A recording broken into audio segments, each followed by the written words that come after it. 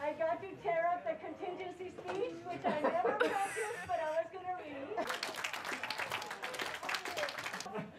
I got to tear up the contingency speech, which I never practiced, but I was going to read.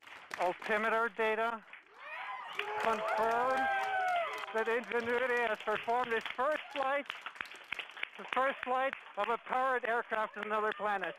So the image we're looking at on the screen is the image from our onboard navigation camera showing us hovering above the surface of Mars. How incredible!